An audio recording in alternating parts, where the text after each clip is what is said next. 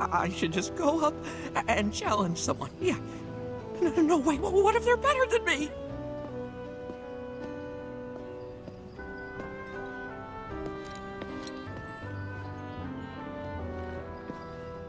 Maybe if I look pathetic enough, some QB rookie will take pity on me.